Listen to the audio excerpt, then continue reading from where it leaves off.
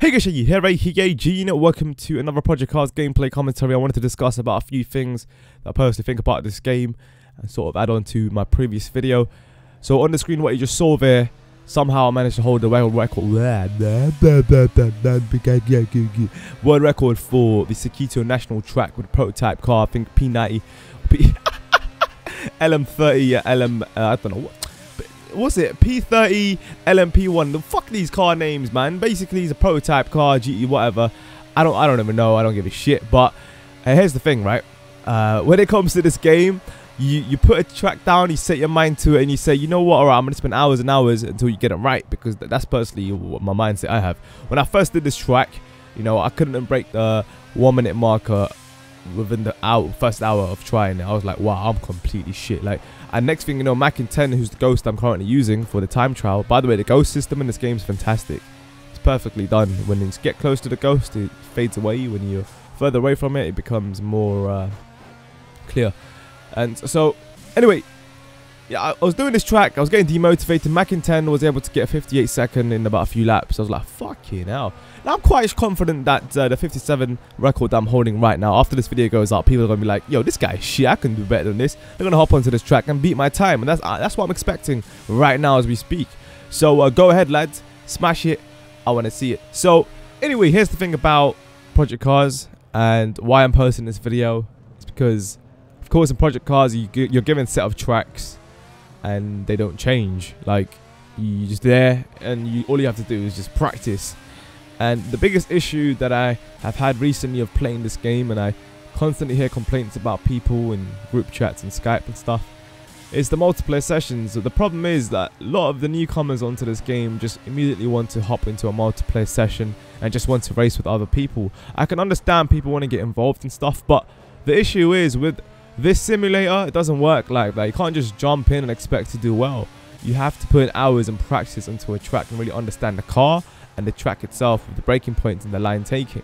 And the next step is after you nail the track like I have managed to do is to actually work on racecraft on this game because it's a complete new concept based on actual real life. So as you saw there from this little footage, you know, I transferred myself from hot lap into this. Although I nailed a 58 second consistent lap, which actually did end up helping me catching up to person ahead. However, when it comes to overtaking, it's completely different because you have to be extremely patient and you can't just go into an opportunity and rush the opportunity right off the bat just because you see an overtaking chance. And the thing about this, well, not game, but a simulator is that, you know, on multiplayer sessions, when a takeout does occur, when someone else takes you out, it's very difficult for the person to tell whether or not they took you out. At the same time, the person that gets taken out feels it the most.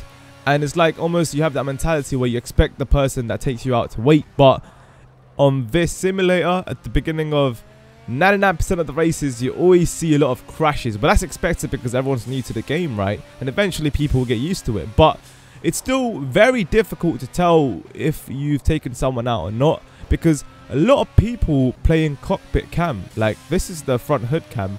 But in cockpit a lot of people prefer that. And the reason why a lot of people prefer that is because the general pace of the game gets slowed down quite drastically. You can tell a huge difference between every other camera and the cockpit view right? The cockpit view on the inside and you're holding the wheel everything around you feels extremely slow. So you got more time to think about situations and your braking point I don't know why it's like that. It's so weird.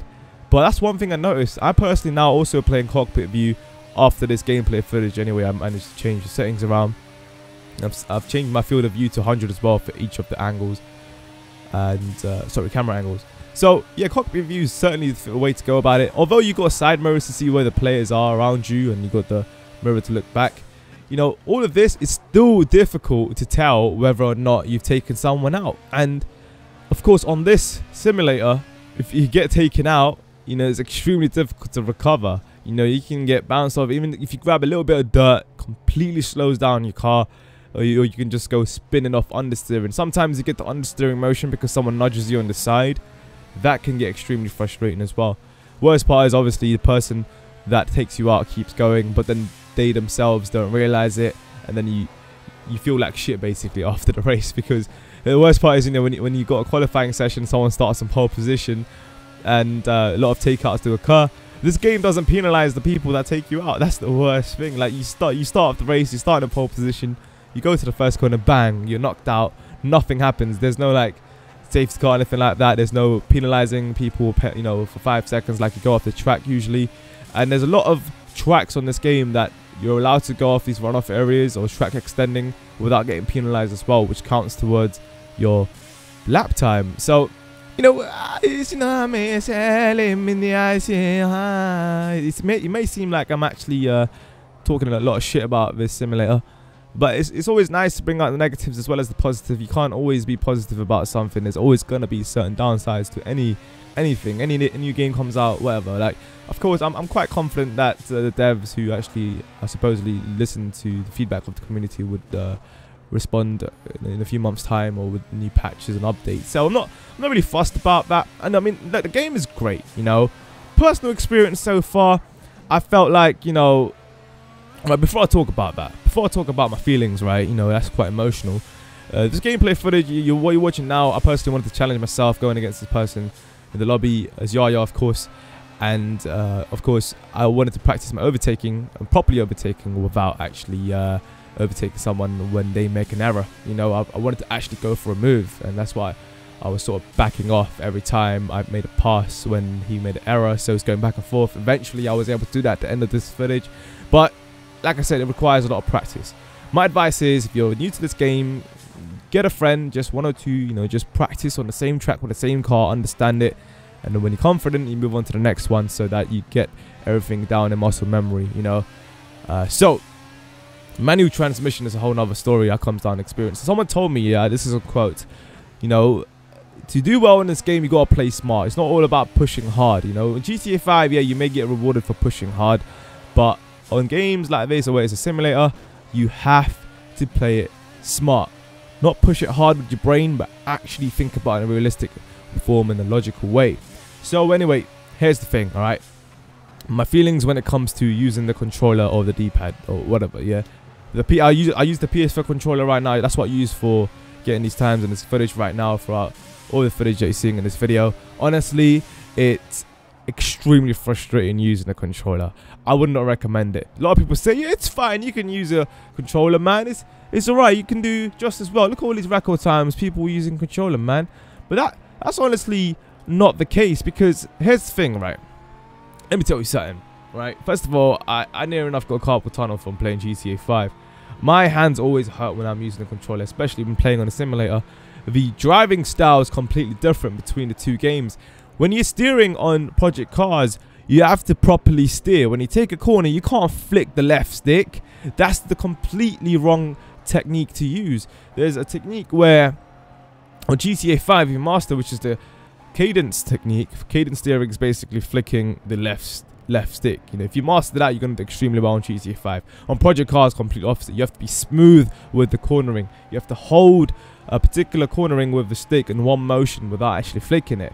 That switching between those two can get extremely mindfuckery. You know, it can really piss man off. You know, I'm sitting there and trying to get used to that and the coordination, the timing, and whilst manual shifting with L1, R1. Are you kidding me? That cramps up my fingers so much that, you know what, I've ordered a wheel, I've ordered a Thrustmaster T300 RS, which will be coming. I'm going to be doing cam videos on that. You guys are going to enjoy me failing uh, whilst driving with the wheel live. I might do some live rage commentary because I will be raging. I tell you that. I ain't gonna lie to you. I'll be straight up honest, man. So yeah, I'll be getting a wheel. I definitely would recommend a wheel for this game or the simulator. Sorry. Uh, personally, from my experience, D-pads will not work, especially when you're thinking of doing endurance races. You honestly, your hands will just fall off. I'm telling you. So uh, anyway, that's just from my experience. Hopefully, you guys enjoyed. I do like this game, but at the same time, there's a few things I wanted to point out that are negatives of it. It's always nice to point out negatives and the positives. Overall, I'll be still playing this game between this and Project Cars, sorry, GTA 5. So yeah, let me know what you guys think of your experience so far. And uh, yeah, I'll see you guys soon. I'll be reading the comments as always. Shaggy, so now, good night, peace. Yeah! Hey guys, Shaggy here, right here. Welcome to my first Project Cars gameplay commentary on my channel. This is going to be my first impressions of the game from the first few hours that I've played it so far how I feel about it, what I think of it